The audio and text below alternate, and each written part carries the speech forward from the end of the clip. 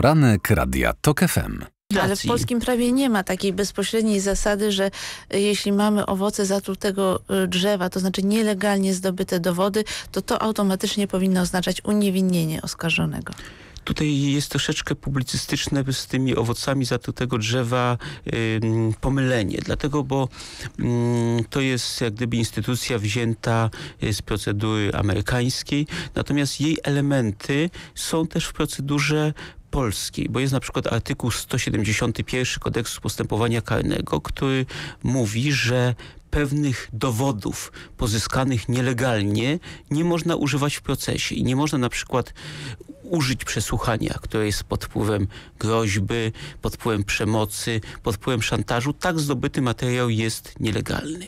I teraz w tej sprawie wszyscy mówią o owocach zatrutego drzewa. Natomiast jest pewien system prawny, bo jest artykuł drugi Konstytucji, że Polska jest państwem prawa, jest... No ale z tego artykułu mnóstwo rzeczy się wysnuwa, nie ma tej zasady. Znaczy to jest, to jest, jest jednak dość daleki... Jest artykuł 45 Konstytucji, jest y, artykuł 6 Konwencji i one dają pewne gwarancje.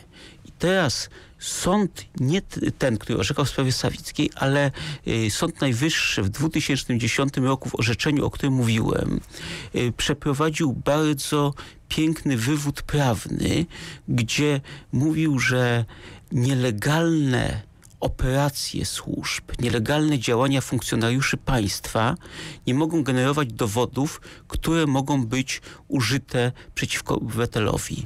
I sąd podkreślił, że tutaj nie chodzi o owoce zatrutego drzewa. Tu chodzi o pierwotnie skażony dowód, który nie może prowadzić do skazania obywatela w państwie prawa.